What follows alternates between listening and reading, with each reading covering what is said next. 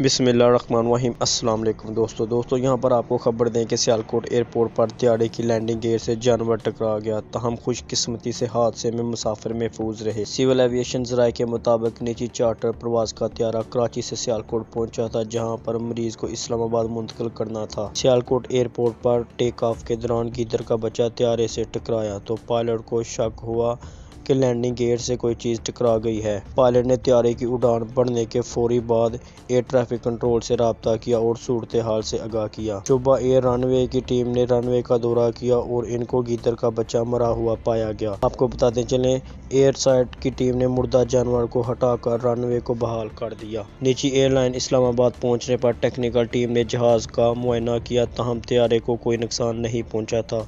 इसके अलावा सी ई ए की टेक्निकल टीम ने त्यारे को क्लियर करार दे दिया।